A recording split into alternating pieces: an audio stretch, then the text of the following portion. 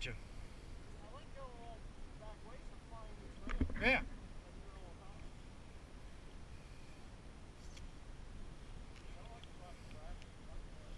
Sure.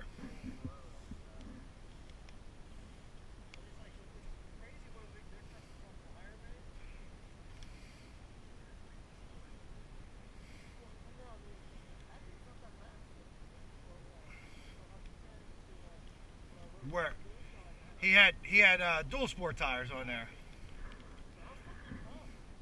Yeah.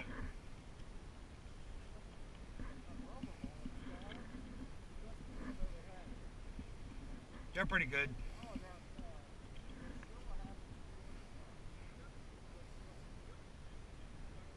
Call Aaron. Call Aaron. Yeah. Through uh, Cycle Gear? Yeah. Yeah.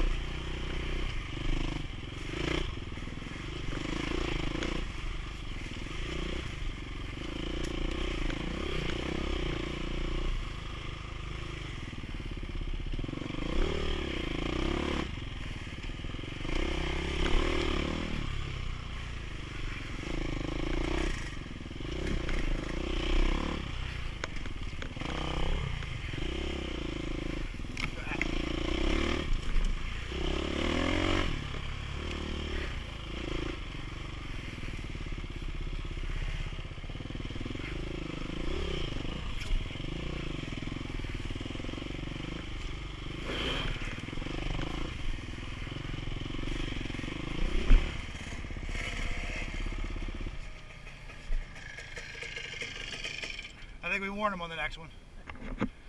It's a little bit hectic. Huh? Oh yeah. So the next thing we do is come down here, turn left to go up this hill. As soon as you get to the top, it's a 45 degree right hand turn to go down it. That, that's why I want to warn you before we get there. So what you want to do is go down this way and wait at the end of that road. We'll pick you up. Okay, that's fine. Oh no no he was. Joe was. I'm sorry. Wait, we're just goofing around. Yeah. Yep. Oh, absolutely. It's fantastic. Yeah, we've only had it for two days, like three three working days, three riding days. Well, so we want to tag it less. We just want to know where it's at. There's about 20 guys that are riding it right now. So we'll get it. We'll get it perfect, but it's. Yep. So you want to go. The best way for you can cut across there, right there, and go straight to the end. That's the power lines. They're right there. They go straight to the end. Towards Salem Church Road. Yep. They go straight to the end. Yeah, you can go through there, and then you got to cross that path at some point. All right. All right, give me room.